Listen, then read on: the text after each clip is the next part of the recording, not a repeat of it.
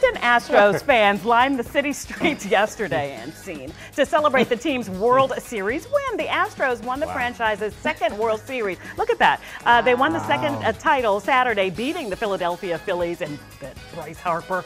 The parade route spanned about three miles, and an estimated one million people Ooh. came out to watch. The parade was especially fun for former Nats manager Dusty Baker mm-hmm. as he celebrated yes. his first championship. Nice. At 73 years old, he is the oldest manager ever to win a World love Series. It. Of course, he played for like 19 seasons himself. So mm-hmm. I love this love all this. the way around. Yeah, if so it's not our Nats, then it's then it's them. He yeah, did win. Sorry, I didn't also, mean to interrupt. He did win it as a player, but just not as a manager. He knew what now. the taste of it was. Right. Yeah. And now he has it. Look Good at him. for him. Yep. Good I love it. Him. Okay. Deserves it. All right.